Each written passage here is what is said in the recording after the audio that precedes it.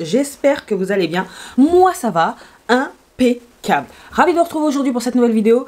Vidéo où l'on va parler des 15 palettes ou un petit peu plus, que je regrette de ne pas avoir acheté en 2023. Et oui, on continue dans cette lignée avec 2023. Il reste pas beaucoup de vidéos en rapport avec 2023. Je trouve que c'est le bon mois pour effectuer ça. Bon, avant de poursuivre, vous connaissez le rituel? Bienvenue à vous, nouveaux abonnés. Merci de votre confiance et d'avoir rejoint la team Choupette. Et bien évidemment, il va sans dire que je ne peux poursuivre cette vidéo sans vous faire d'énormes bisous à vous, mes choupettes d'amour qu'elle depuis un moment, voire depuis les débuts. Mmh.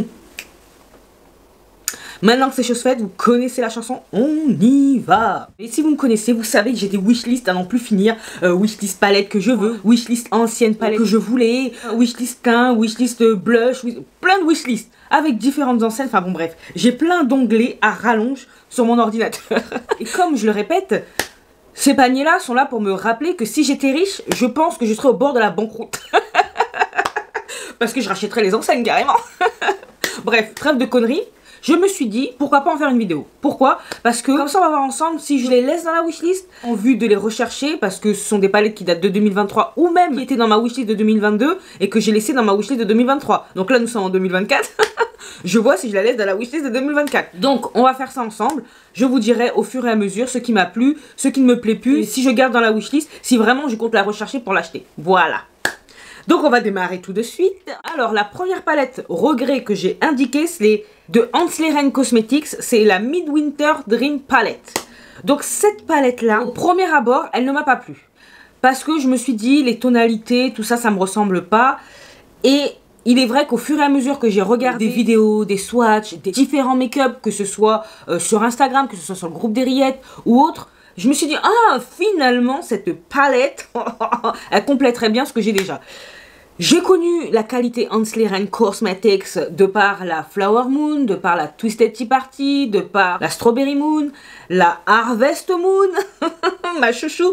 Donc, évidemment que je me dis que cette palette-là, même si ce sont des tonalités qui me ressemblent moins, elle m'intéresse quand même toujours. Parce que quand je la vois sur le site de Monolith en étant épuisée, je me dis, hum, quand même, c'est dommage qu'elle revienne pas en stock. Donc, celle-ci, oui, je la garde dans la wishlist de 2024. Et je vais voir si je peux euh, la voir de quelque manière que ce soit. Ça sert à rien que je lance un appel. parce que je pense que ceux et celles qui l'ont ne voudront pas s'en séparer. Mais, quand même, vous savez que je suis là si... Euh, voilà. On continue avec Bella Beauté Bar. Et là, c'était la Celestial Garden, vous savez, en collaboration avec M. Jones.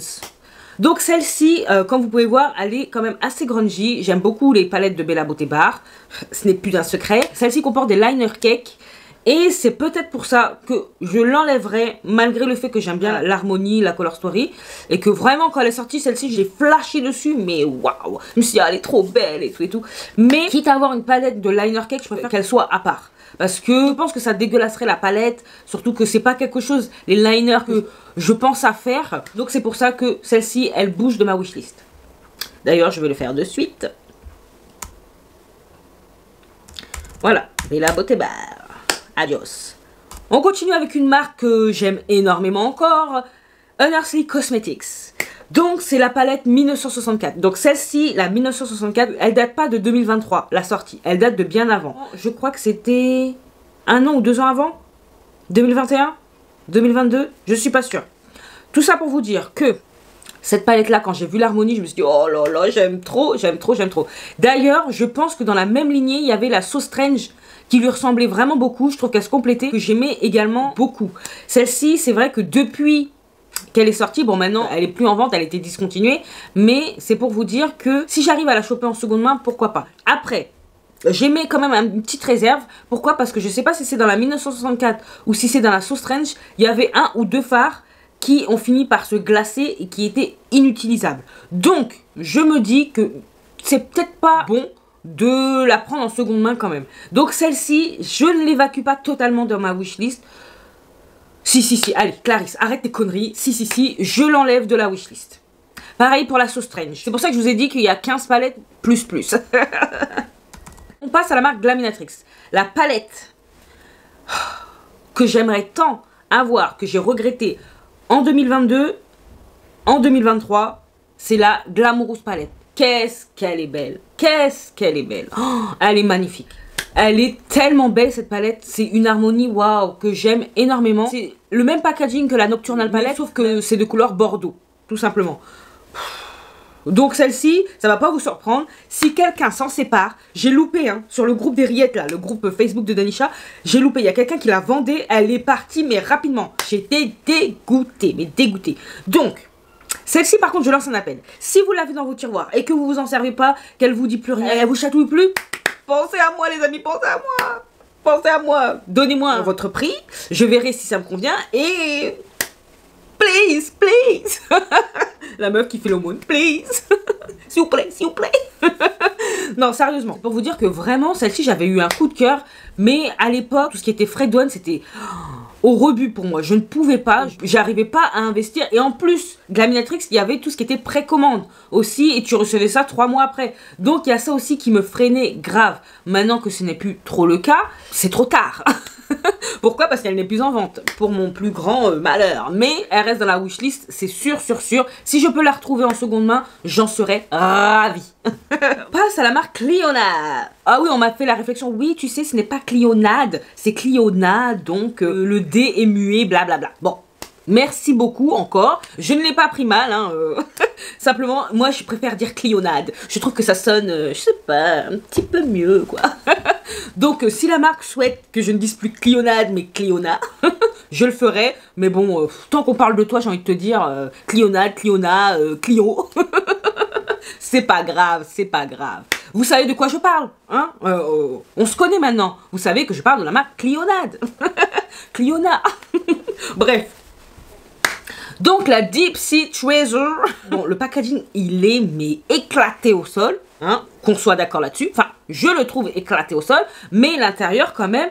Au départ, j'avais quand même critiqué une palette de 8 phares, certes, 8 phares à effet, j'ai trouvé ça quand même cher. Je me suis dit, putain, 105 euh, balles pour ça seulement. Mais au final, ça donne du 13-14 euros le phare à effet, ce qui reste quand même dans la lignée on va dire, de ce qui se fait actuellement, ça reste quand même élevé. Faut pas dire n'importe quoi. Ça dépend du budget que l'on a, ça dépend du budget que l'on accepte de mettre dans ce type euh, de passion.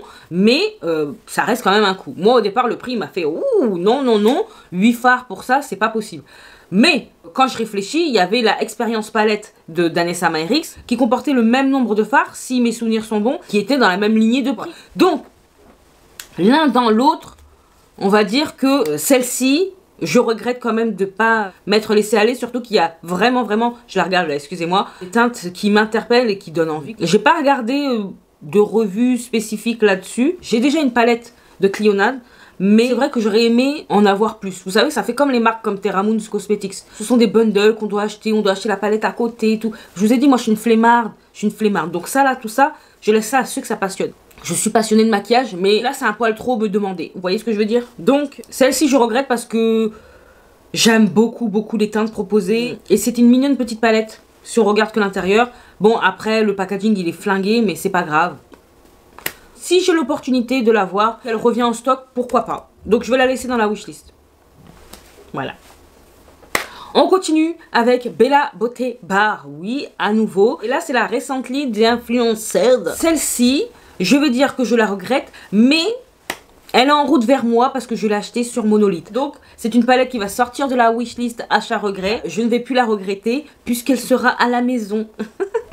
Donc, je la retire de la wishlist. Ensuite, on passe à Salem Cosmetics avec la Forest Heart.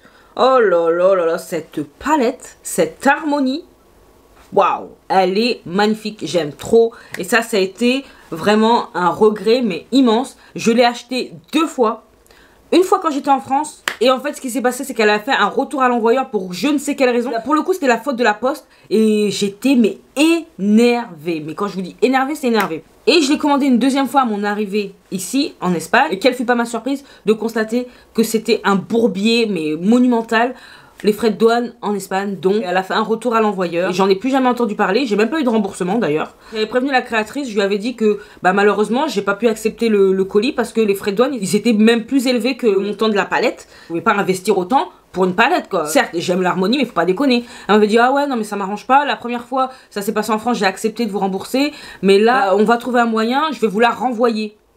Euh, je me suis dit, bon, euh, ouais, mais ça va faire la même chose. Et après, j'en ai plus jamais entendu parler, vu le suivi comme quoi elle était arrivée là-bas. Mais après, elle m'a plus jamais contacté. Franchement, flemme de la contacter. J'ai perdu 60 euros, 65 euros, je ne sais plus. C'est pas grave, je me suis dit, Dieu me le rendra d'une autre façon. J'ai perdu de l'argent, j'ai pas eu la palette. Et c'est une palette euh, que je regrette toujours. Simplement, si par hasard, je la trouve en seconde main ou dans un groupe quelconque, ok. Mais de moi-même, là, je vais la retirer de la wishlist. Parce que rien que de repenser aux sous que j'ai perdu et au temps aussi, ça me blase. On continue avec Electrum Cosmetics et la Sea Witch Palette. Alors ça, elle est dans ma wishlist depuis sa sortie. Pareil, tout ce qui est frais de douane, bla j'ai pas acheté. J'ai vu depuis un moment qu'elle était entrée dans le catalogue de Monolith, mais elle arrivait jamais, donc je pense qu'il y a eu des petits soucis. Et finalement, il y a 2-3 launches de ça, elle y était, mais elle est partie rapidement. À mon avis, ils avaient un stock, euh, peut-être ils avaient 4 palettes en stock. À peine j'ai mis dans le panier qu'elle était déjà épuisée, donc euh, j'espère grandement qu'elle va être de retour. Mais oui, c'est une palette que je continue de regretter, parce que la beauté de la palette la beauté, la beauté. On va me dire, oui, mais il y a du bleu. Non, j'aime trop l'harmonie. C'est une harmonie peut-être que je possède déjà, mais j'aimerais bien tester la marque Electrum Cosmetics. Donc oui, je la garde dans ma wishlist regret.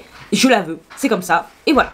On poursuit avec Nomad Cosmetics et la Hudson Valley Palette. Alors cette palette là, elle est très automnale. Dès sa sortie, je l'ai aimée directement. Euh, elle m'inspire, elle est jolie. Ce sont les teintes que j'aime, ce sont les couleurs que je privilégie. Euh, quelle que soit la saison, mais bon, plus euh, saison hivernale. Pas grand chose à dire dessus, j'aime beaucoup. Mis à part le fait qu'il n'y a que 3 lumineux dans cette palette, elle est composée de davantage de mat. Je ne manque pas de mat dans ma collection, mais euh, pour tester une première palette de Nomade Cosmetics, je trouve que ça aurait été la bonne palette.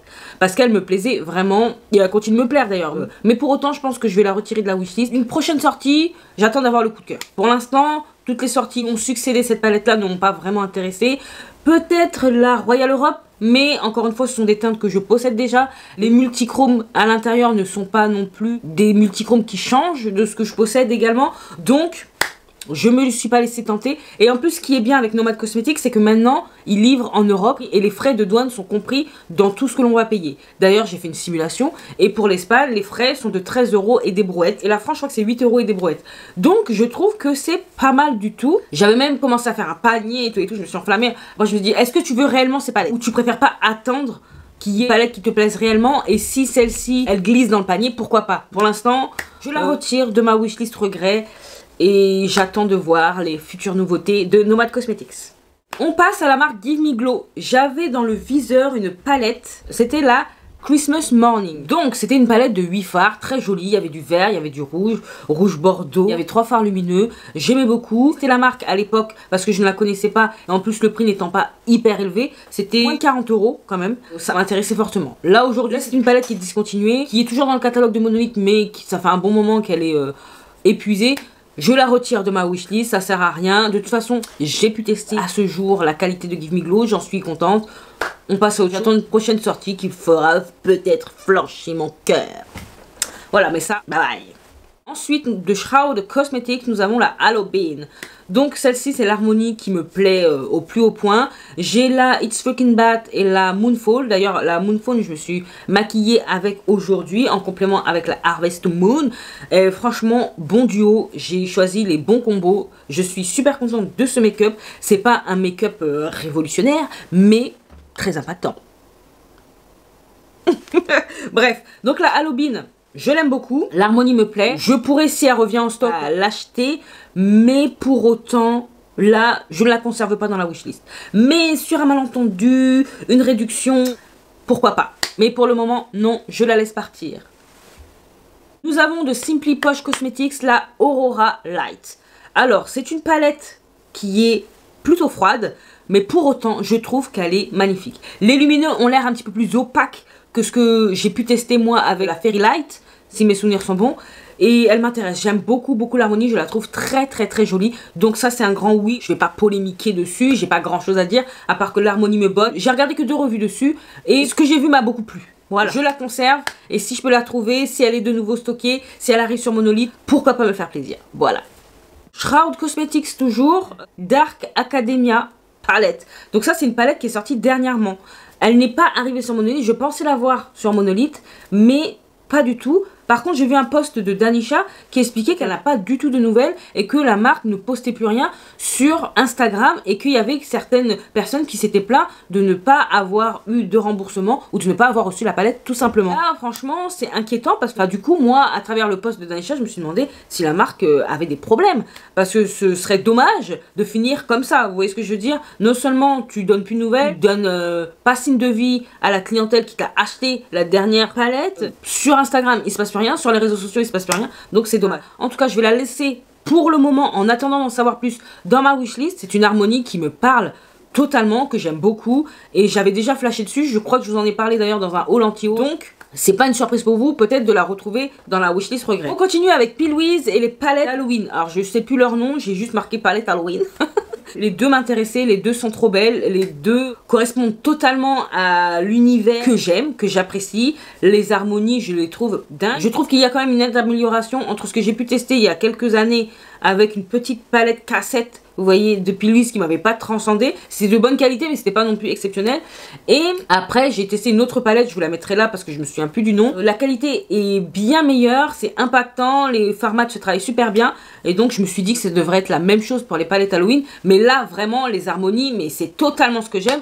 Et pour autant, j'ai mis non que je n'ai gardé pas ma wishlist de 2024. Donc quand j'ai mis non, je ne sais pas pourquoi j'ai mis non, parce que moi là, j'ai bien envie de les garder dans ma wishlist de 2024. Je change mon nom en oui, je garde.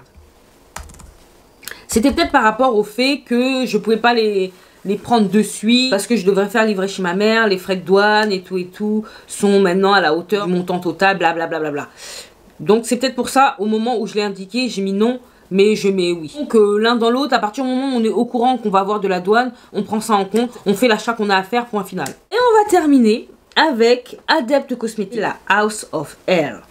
C'était une petite palette et je me disais que pour le prix à l'époque, je trouvais ça cher, mais au final, j'avais vu quand même pas mal de revues dessus. Elle date pas de 2023, mais pour autant, elle était toujours dans ma wishlist.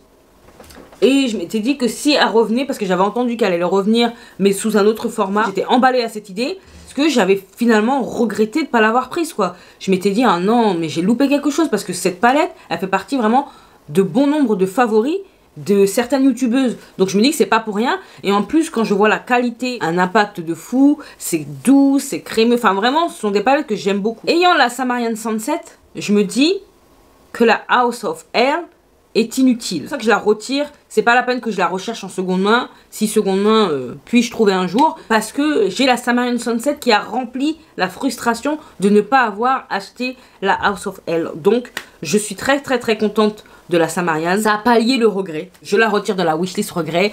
Et ce, avec grand plaisir. Donc, au final, les amis, il nous reste une, deux, trois, quatre, cinq, six, sept palettes. Voilà.